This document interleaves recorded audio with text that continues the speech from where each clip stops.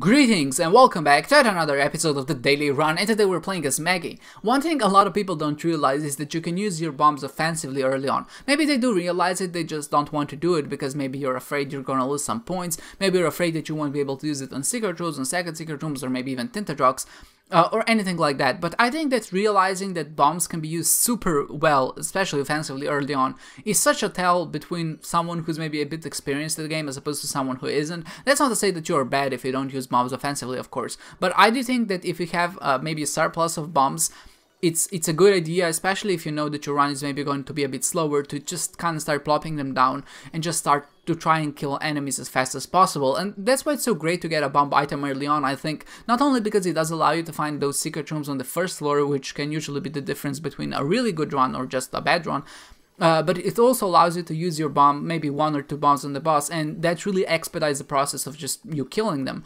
your regular tears early on don't deal much damage, and I think the hardest part of any run is probably the first few floors, but incidentally that's also when the bombs are most effective, so if you don't really have enough damage to go with your tears, it's not a bad idea to drop a bomb or two to kinda just kinda deal damage a bit faster.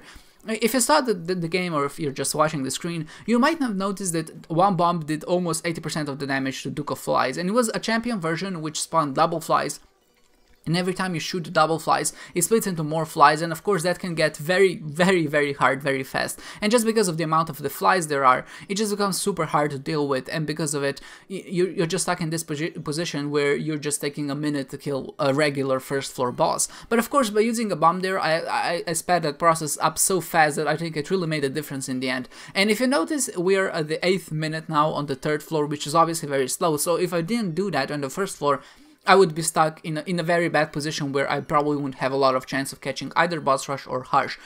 As it is now, of course, the, the things are looking green, we probably won't catch it, at least one of them, but at least we're in a position where I can say that I'm just a bit more comfortable by doing it. I think one of another bosses that are maybe a bit tanky but are very easily dealt with by bombs is Ragman, and of course nobody likes really facing Ragman. A lot of characters don't really start with a bomb, and that's why I always say it's a good idea to explore the rest of the floor first before you even fight the boss. One of the things that I think is important is that um, is to realize that you can use those bombs and you can use them. It, it, shouldn't be too bad to use them because I know a lot of people say it or maybe think that you lose a lot of points by using them and that's not necessarily true. You don't really lose that many points. But what you do lose is time if you don't use them. And I think time in some cases is much more important than maybe 20 or 30 points in that case.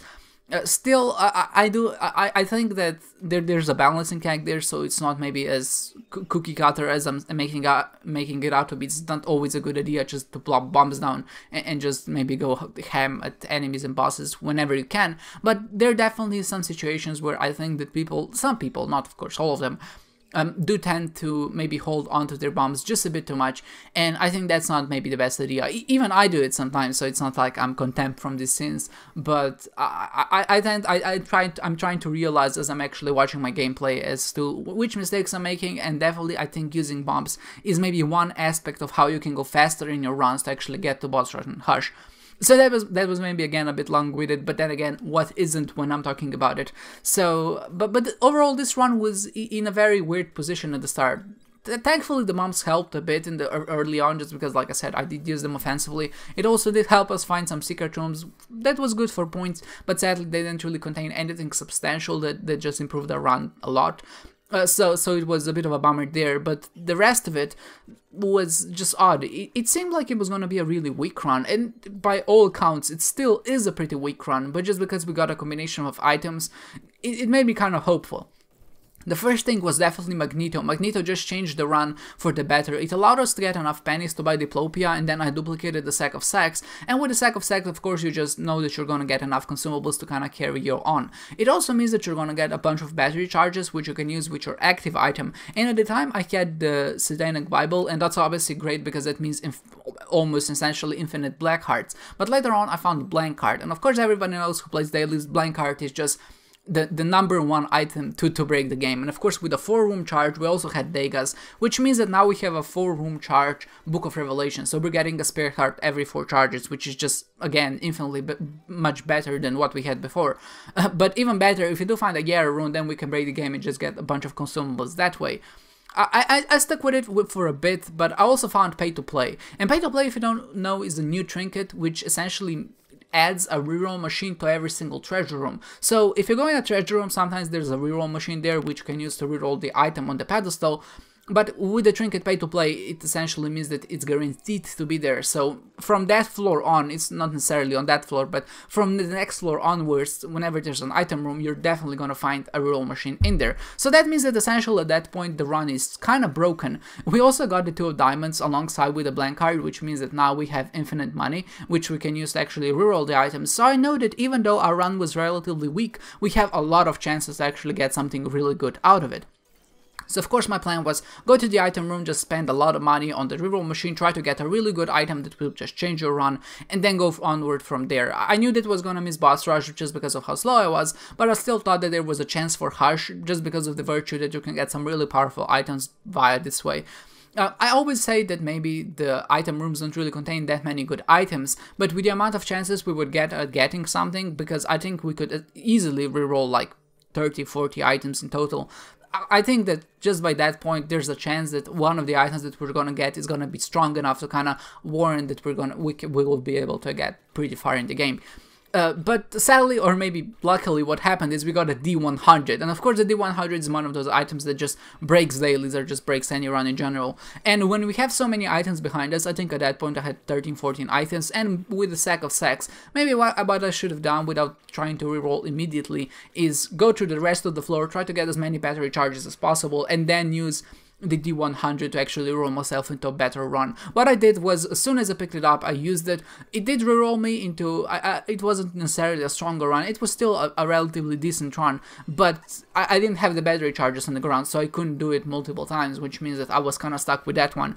Because of that, I think definitely that I, I have missed out or maybe it took me a bit too long to actually get to a really powerful run. Eventually I did, but I did miss out on a lot of exploration because of it and I think that's maybe a bit of a bummer and definitely a bit of a mistake on my part just because of course when you use the D100 you're also gonna reroll the sack of sacks that you had before. So I definitely think in that situation I should have gone, just got a bunch of batteries and then started rerolling at the end. That would maybe speed up the process a little bit, I would be able to explore a bit more of the Womb 1 and Womb 2, but as it turned out I can't be too upset just because we did get a conjoined with Tech X, and we also had Bookworms. Essentially, we're firing 4 shots. With Guppy, we're just dealing insane amount of damage.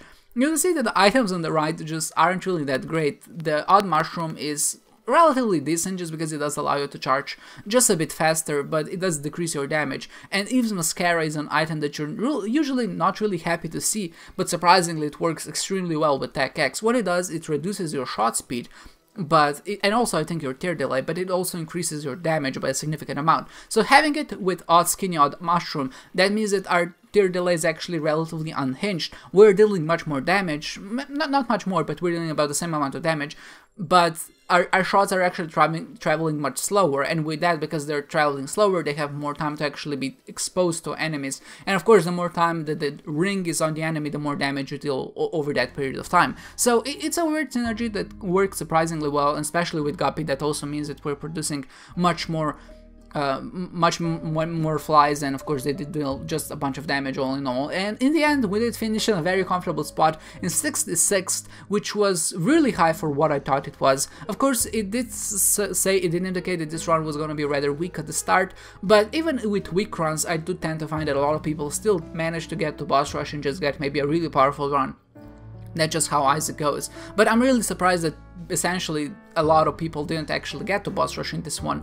And I think there, there were only like four or maybe five in the top leaderboards, which is kind of crazy and it's maybe really indicative of just how bad this run was. But we were in a very comfortable position in the end. Our dash multi was again still relatively low for what it was. Of course, our exploration bonus was relatively low as well. Our Schwag bonus was okay just because with the D100 you're bound to get eventually some Bob items and you're just gonna get a lot of bombs that way. And thankfully because of some blood bank machines uh, and the two diamonds before, we do we did have quite a bit of coins as well. Uh, overall, a really fun run. I definitely think if you played this one right, which seems that not too many people did, a lot of people have struggled with it, uh, at least from from what I've read on the threads. Uh, but but yeah, it, it, was a decent one if you played it like I did, and especially I think with pay to win with the trinket, there's a lot of variants that can go on. A lot of people can maybe re-roll or stop at different points, and just because of people different people play differently even though this is relatively the same run i think the uh, end outcome is going to be quite different depending on what you did so i'm really interested if you did play the daily please let me know how it went and maybe which items you encountered because i think this is definitely one of those ones where those little minute differences make a very big difference and really change how you play the whole run in the end. I hope you enjoyed this one guys and I hope to see you next time.